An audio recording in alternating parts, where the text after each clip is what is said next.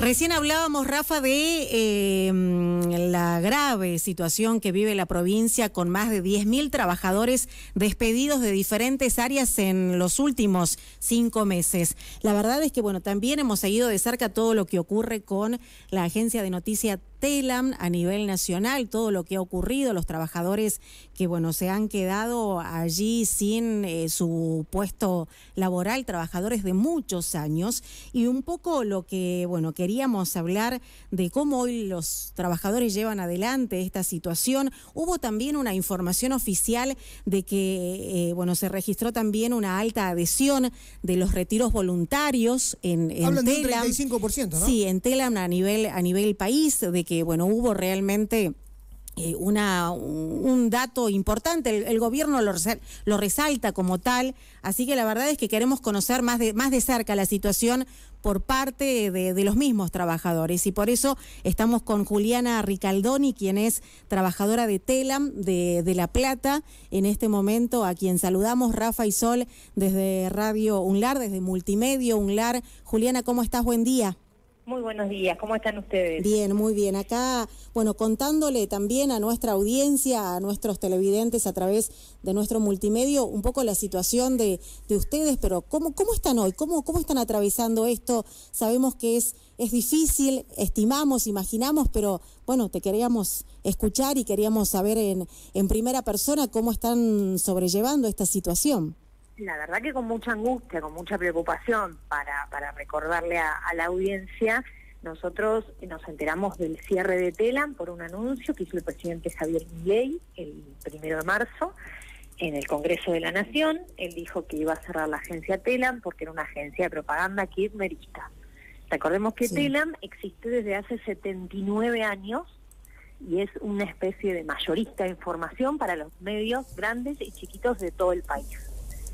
Entonces difícilmente podría ser una agencia de propaganda kirchnerista que está hace, del kirchnerismo está hace más o menos 20 años. Más allá de eso, eh, bueno, a los dos días él lo que hizo fue vallar las sedes de los edificios de Telam para impedirnos el ingreso y nos dieron una dispensa. Nosotros no estamos despedidos todavía. Una dispensa significa una suerte de licencia obligada, no nos dejan trabajar, dieron de baja el portal Sí. y nos siguen pagando el salario todos los meses. Esto es llamativo porque nosotros lo que queremos es trabajar, no cobrar un sueldo sin, sin hacerlo. Eh, eh, abrieron los retiros voluntarios, la adhesión no, no fue mucha porque justamente la gente lo que quiere es trabajar, Claro.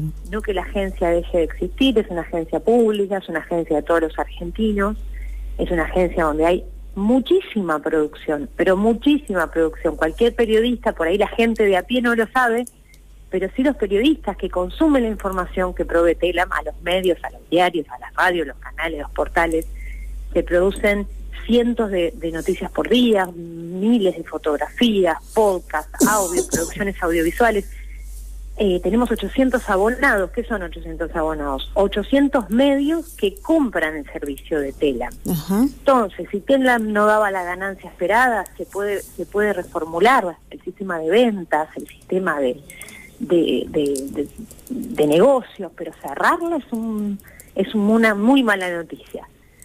Así que nosotros estamos a la espera, muchos compañeros han agarrado, algunos compañeros han agarrado el, el retiro voluntario, que voluntario no tiene nada, porque como ustedes bien contaban al inicio de la nota, Sí. semana tras semana el gobierno, de manera extraoficial, no es oficial lo que hacen, operan a través de los medios eh, amenazas para que cada vez más nosotros agarremos, tomemos el retiro voluntario. ¿Qué es lo que dicen ellos? Lo vamos a echar con una indemnización menor si no agarran el retiro voluntario.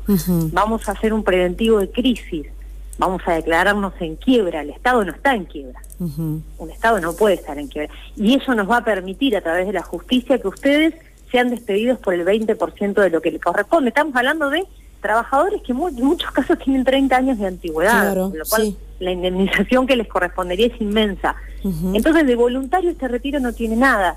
Vamos a terminar con las corresponsalías en todo el país, vamos a cerrarlas, no va a existir más la agencia. No es un retiro voluntario. Los compañeros que deciden optar por el retiro lo hacen porque están asustados y porque están agotados y porque esta situación la verdad que nos desgasta.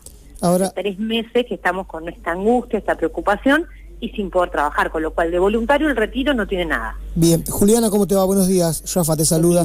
Rafa. Eh, eh, Juliana, eh, ya cerraron Rosario y, y Corrientes. ¿vos, estás, ¿Vos estás trabajando en la corresponsabilidad de La Plata o estás en Buenos Aires o, estás ahí en, La Plata específicamente? No, nosotros estamos en La Plata. Porque dicen que la próxima, porque dicen que la próxima es La Plata, ¿no? Sí, dicen, eso es la, nueva la nueva información que circuló este fin de semana a través de los diarios Clarín y Nación, que cierran los locales de La Plata y Rosario. Nos habíamos enterado de esto, nos habían avisado, eh, circuló un memo interno, que nos saquen sus pertenencias porque vamos a rescindir los contratos de alquiler, saquen sus cosas, bueno, las cosas personales, por supuesto, no las de tela, no, el mobiliario ni las máquinas que son de la agencia. Eh, y la verdad que es una angustia terrible porque... ¿Y eso fue notificado este fin de semana, Juliana? No, no, eso se nos informó la semana pasada. Eh, en una otra noticia que salió que es cierran las corresponsalías, que es un dato tristísimo, porque si tiene una característica tela, al igual que Radio Nacional, es que son federales, son las, los únicos medios de comunicación de toda la Argentina que tienen sedes en todas y cada una de las provincias del país. Eso les da eh, una característica específica que es que son federales, que tienen periodistas en cada región, a lo largo y a lo ancho del país, periodistas que cuentan la realidad de la problemática y la situación de cada una de las provincias. Es otro golpe a lo que es la agencia, a lo que es la democracia, a lo que es la libertad de expresión y a lo que es eh, la, circulación de la palabra. Nos parece gravísimo a nosotros que cierren las corresponsalías. Pero bueno, están intentando cerrarla no lo hicieron todavía porque no encuentran la manera legal de hacerlo, no porque les falte voluntad. Claro. Y, fue creada por ley y para cerrarla tienen que pasar por el Congreso. No han podido, evidentemente, hasta ahora, entonces hacen todo lo posible para desguazarla, para vaciarla y para que la gente se vaya. Juliana, ¿de cuántos trabajadores estamos hablando allí en La Plata y a nivel, a nivel país de todas las agencias que tienen en la Argentina? A nivel país, entre la parte administrativa, porque es la que se encarga de otorgar la publicidad a todos los medios del país, del gobierno nacional, a nivel fotógrafos, periodistas, cronistas, éramos 700. Yo no tengo la información oficial de cuántos concretamente agarraron el retiro, pero entiendo que por lo que circula aparte del gobierno son entre 250 y 300 personas. Exacto, de, ese número habla el gobierno, ¿no? Aproximadamente 250 personas.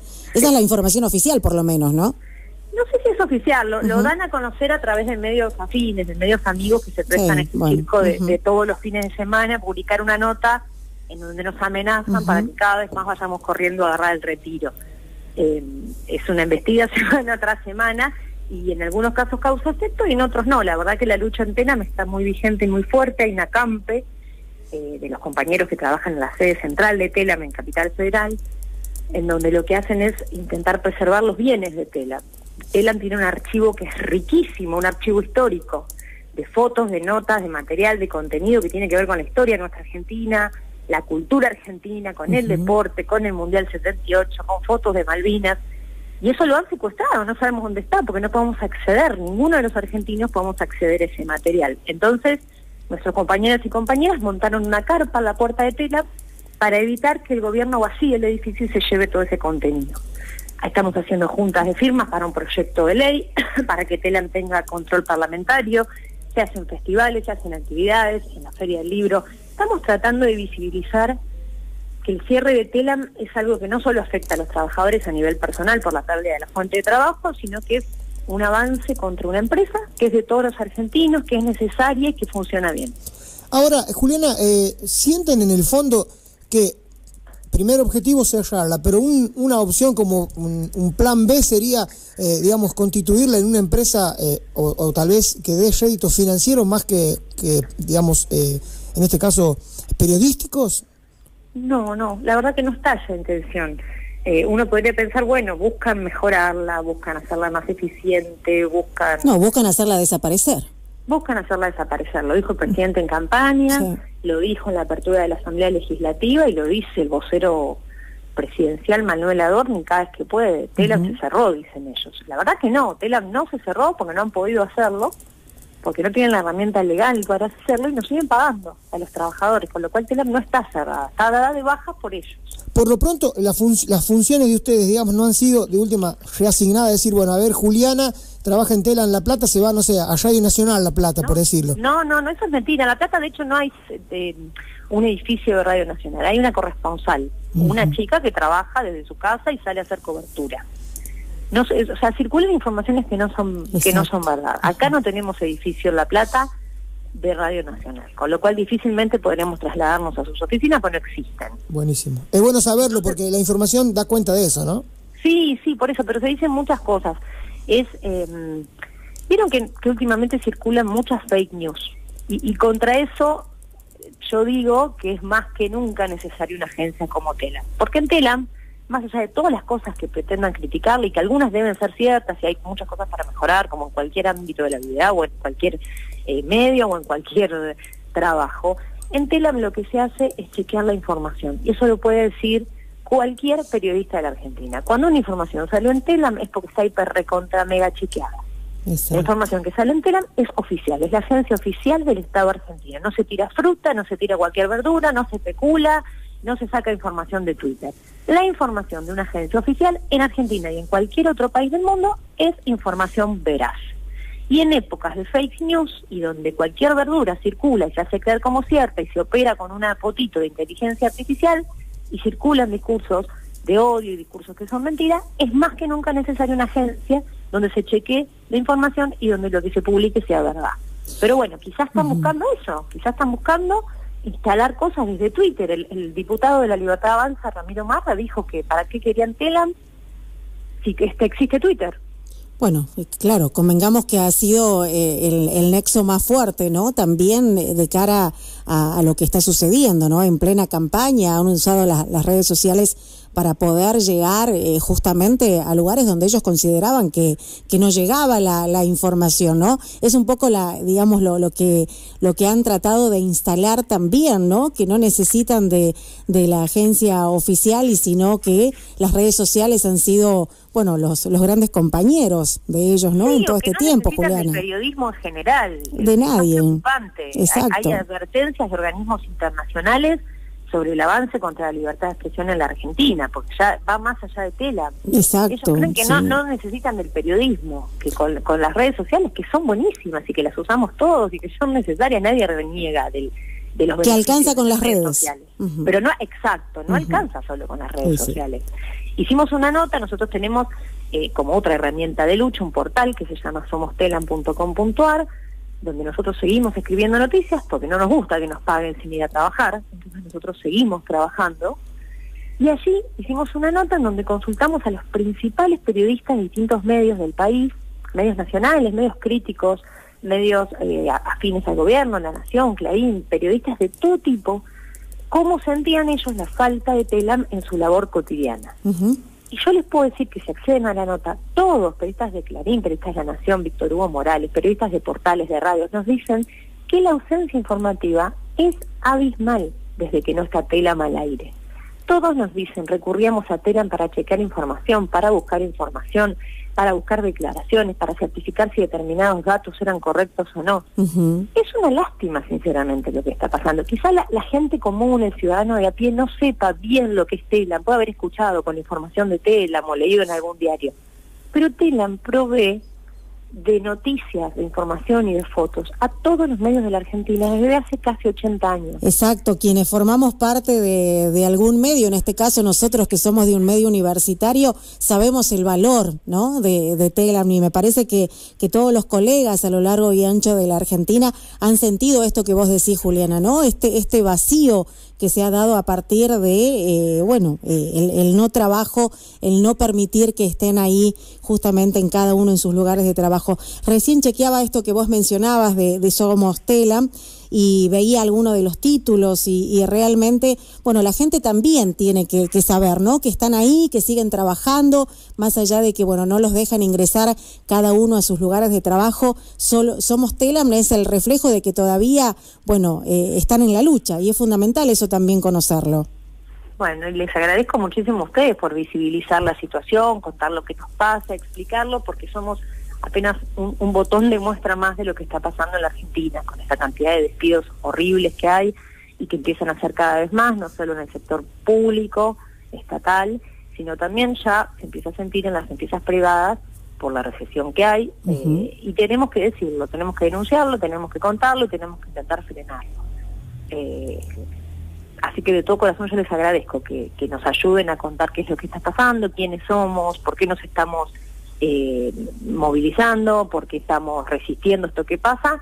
Y bueno, esperemos que se revierta, esperemos que no lo logren cerrar la agencia Telam, porque es una agencia que es de todas y todos los argentinos. Eh, es lo, que buscamos Ahora, una gran contradicción, Juliana, ¿no? Una gran contradicción, digo, porque se supone que es deficitaria pero en realidad no es deficitaria, en realidad es informativa de todos los temas y eh, te pagan sin ir a trabajar o sin cumplir tus funciones, en definitiva, o sea, ¿dónde estaría el déficit si se quiere plantear de ese lado? No, no, no hubo, es llamativo, ¿no? Si no hubo ni un trabajador que no haya cobrado su sueldo a partir de la decisión de cerrarlos, bien. Nos pagan el sueldo desde marzo, abril eh, completo y no nos permiten ir a trabajar. Es una contradicción absoluta. Lo que pasó es que ellos quisieron hacer un efecto inmediato. Lo anunció un viernes a la noche y el domingo nos pasaron la agencia y cerraron la página web.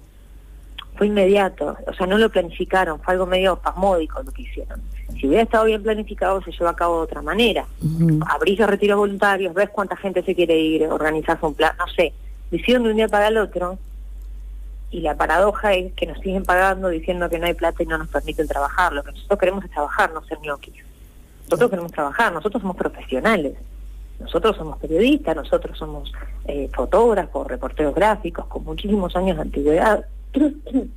eh, es una paradoja. Y la empresa, si es deficitaria, crea un plan de negocios, eficientizala, hace lo que sea para que funcione mejor. Y de todos modos, de todos modos, el fin de Telam no es la ganancia monetaria. El fin del TELAM es un fin social, es un fin de informar a todo el país, de, generar contenidos que no generan los medios hegemónicos, los medios tradicionales, porque son los medios tradicionales naturalmente quieren vender, entonces tienen que generar contenidos que sean comerciales, tienen que generar el clic, tienen que generar ventas. Los medios públicos tenemos otra función, que es contar otro tipo de historias, que no sean comerciales, pero que sean interesantes, enriquecedores para la cultura, para otros aspectos.